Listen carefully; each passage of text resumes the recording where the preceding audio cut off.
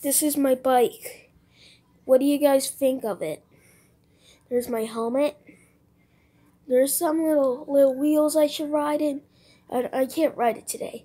What do you guys think of this bike? I think it's really cool.